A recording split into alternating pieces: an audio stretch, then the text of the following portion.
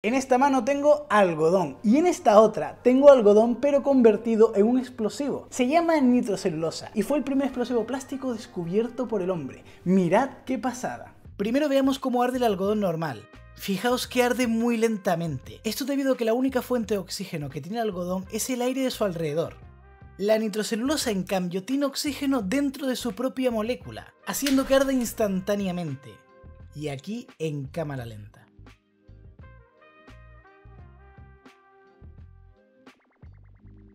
Arde tan rápido que se puede prender tranquilamente en la mano sin quemarse. Ah, qué mola.